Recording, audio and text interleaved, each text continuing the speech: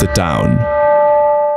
अहिले म सुर्खेत वीरेन्द्रनगरको नेपाल राष्ट्रिय माध्यमिक विद्यालयमा आएको छु। यो विद्यालयले आफूलाई सरसफाइको दृष्टिकोणले स्मार्ट विद्यालय भनेको छ। यो विद्यालय के कारण स्मार्ट विद्यालय भयो त सरसफाइको दृष्टिकोणले? आज हामी यो स्कुलका शिक्षक एवं विद्यार्थीहरूसँग केही अन्तर्क्रिया गर्नेछौँ र उहाँहरूको क्रियाकलाप पनि हेर्नेछौँ। यो विद्यालय सरसफाइमा स्मार्ट विद्यालय भनेर चिनिन्छ। विद्यालयको भौतिक सरसफाइ चर्पीको समुचित प्रयोग सुरक्षित पानी तथा खाजाको व्यवस्था छात्राहरूको लागि महिनावारी स्वास्थ्य तथा स्वच्छता विद्यार्थी सरसफाइ लगायतका पक्षहरूलाई यो विद्यालयले प्राथमिकता दिएको छ।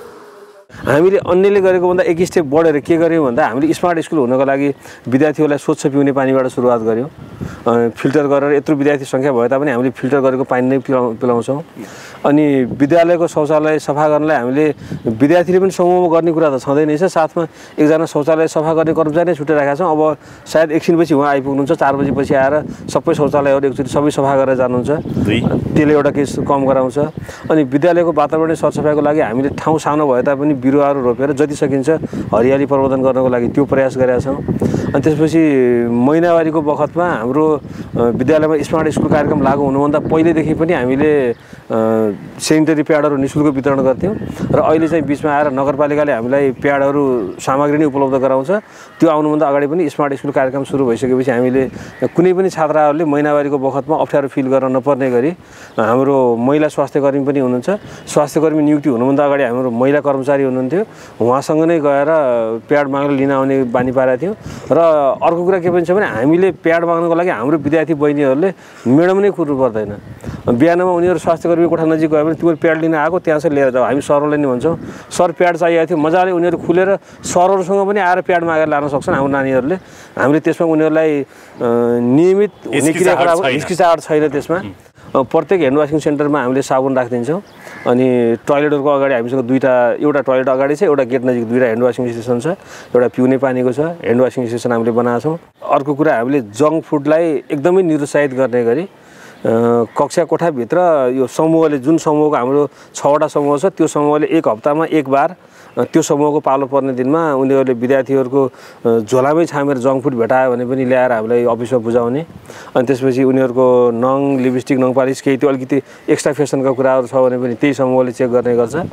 र यसरी हामीले विद्यार्थीको समूह परिचालन र त्यसपछि सरसफाइका विभिन्न तिन चारवटा कुराहरू ह्यान्ड वासिङ स्टेसन अनि टोइलेट सरसफाइ र महिनावारी स्वच्छताको लागि सामग्रीहरूको व्यवस्थापन। यिनी तिन चारवटा कुराहरू हामीले चाहिँ सरसफाइको सेक्टरमा गऱ्यौँ। भनेपछि तिमीहरू तिमीहरूलाई जस्तो पिरियड हुँदाखेरि सरहरूलाई पनि माग्छौ? त्यहाँ स्वास्थ्य कर्मी नर्स भएको बेला भयो त उहाँले नै दिनुहुन्छ। नर्स मतलब चाहिँ नर्स हुँदा नर्सले दिनुहुन्छ नभए सरहरूले दिनुहुन्छ नभए साथीहरूले त्यस्तो प्रब्लम छैन। हाम्रो पालेदाई हुनुहुन्छ पालेदाईले पनि दिनुहुन्छ त्यो। ए हो र? बस्ने राम्रो स्वास्थ्य कर्मी कोठा नजिकै छ? स्वास्थ्य कर्मी भनेपछि अब अब तिमी तिमीहरूले त बुझि नै सक्यो कि अब यो त प्राकृतिक कुरा हो। होइन? सबैलाई हुन्छ। खास गरेर केटी मान्छेलाई भनौँ न। हुन्छ र यो चाहिँ यसमा लाज मान्नुपर्ने कुरा छैन भने बुझिसक्यो।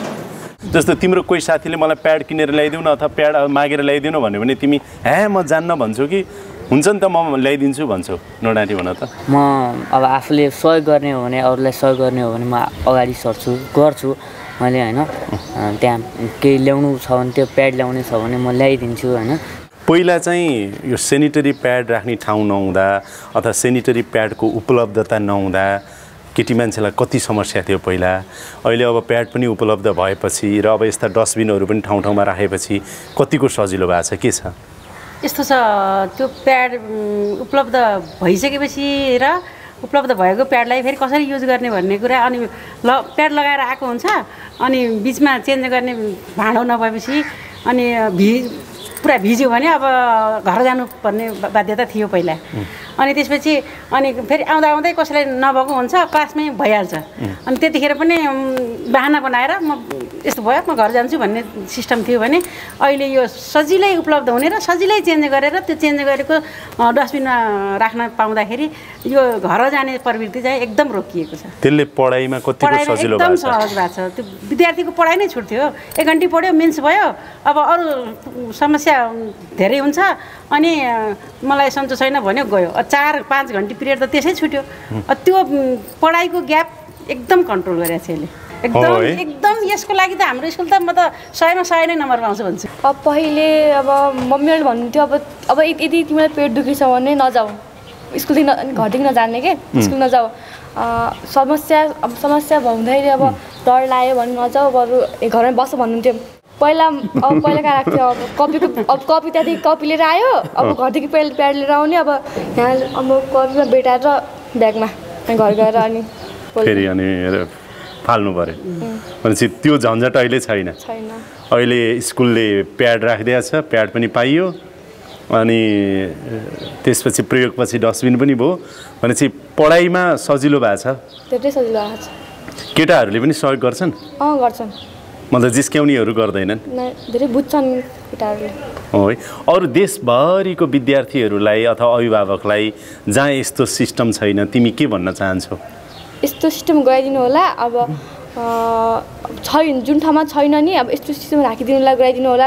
अब जसले जिस्काउँछन् नि अब केटाहरूलाई अब तिनीहरू पनि दिदीबहिनी होला। आफ्नो दिदीबहिनीले हेरेर हेर्नु पऱ्यो आफूले दिदीबहिनी ठान्नु पऱ्यो अनि सहज अब केही परेकोलाई सहयोग गरिदिनु होला भन्न चाहन्छु। यो सामान्य प्राकृतिक कुरा हो होइन? हजुर। दिदी बहिनीलाई हुन्छ आमालाई हुन्छ छोरीलाई हुन्छ श्रीमतीलाई हुन्छ सबैलाई हुन्छ केटी मान्छेलाई होइन।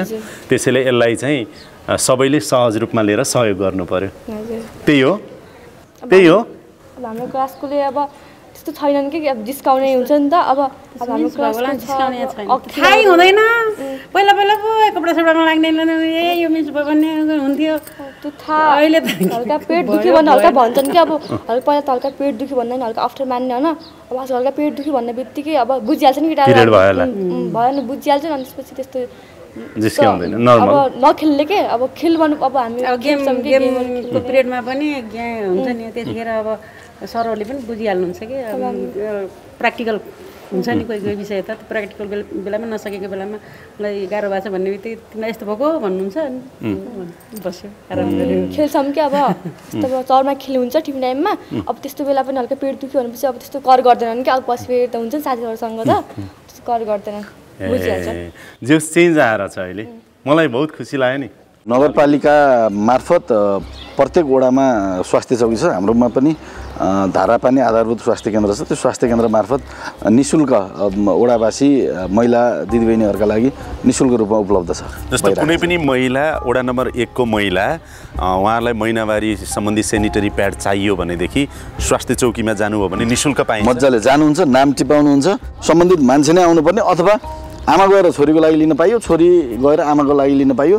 त्यसरी अलिकति कोल्टे परेको भावनाले अलि अलिकति अपायक पनि परेको छ भनेर हामीले एक महिनालाई दुई महिनाका लागि दिउँ सम्बन्धित व्यक्तिलाई मात्रै दिउँ एका घरको व्यक्तिभन्दा बाहिरकालाई नदिउँ त्यो पनि आमाको लागि छोरी छोरीको लागि आमासम्म नत्र भने सम्बन्धित मान्छे नै ल्याएर त्यसरी नि शुल्क रूपमा उपलब्ध गराइरहेको छ।